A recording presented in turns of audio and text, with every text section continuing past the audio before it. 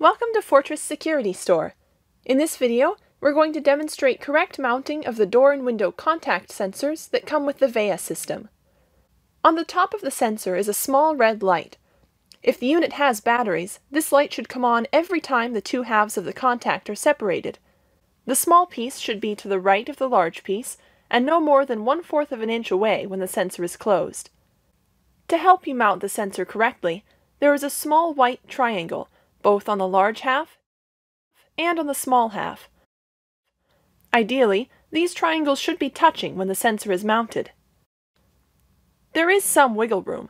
If the sensor lights up when the halves are separated, your setup is probably fine.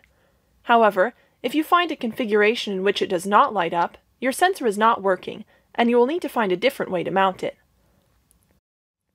Ultimately, just make sure that when the door is opened, the light comes on.